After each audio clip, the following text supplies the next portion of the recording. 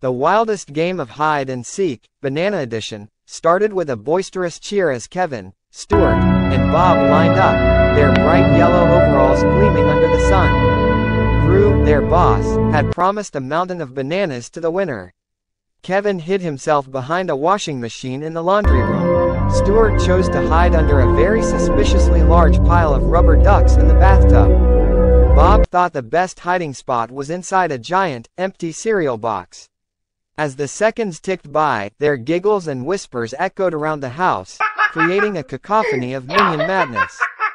Suddenly a mysterious banana-shaped balloon had floated into the house through an open window and was now causing chaos bouncing around the room like it was playing its own game of hide and seek. Stuart's hideout was suddenly disturbed as the balloon plopped right into the bathtub. Meanwhile, Kevin's hiding spot turned into a disaster when the balloon floated into the laundry room. Bob's cereal box hideout took an unexpected turn. The balloon floated causing a spectacular crash. Bob tumbled out of the box with a bang, and caused cereals drop on the floor. The balloon suddenly popped, revealing a hidden surprise, a tiny, glistening map. The map led them to the backyard where a peculiar sight awaited, a large, locked treasure chest. Kevin read the first riddle out loud.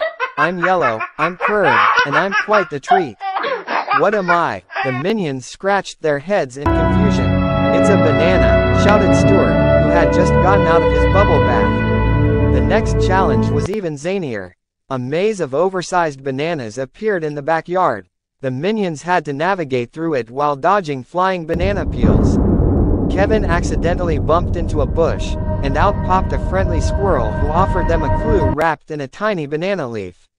Follow the golden banana path, squeaked the squirrel, scurrying away with a wave. The minions followed the golden path, which led them to a shimmering waterfall.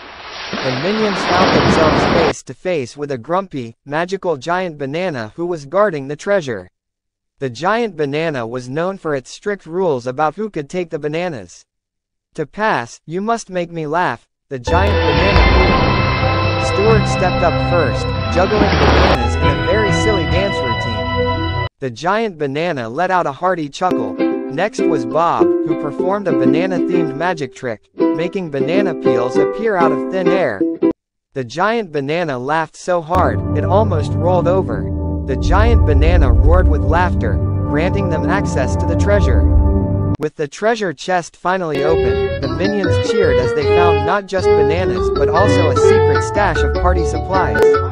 Balloons, streamers, and party hats filled the chest. And so, Minionville rang with laughter, music, and the sweet scent of bananas. Until next time, the minions cheered, ready for their next great escapade.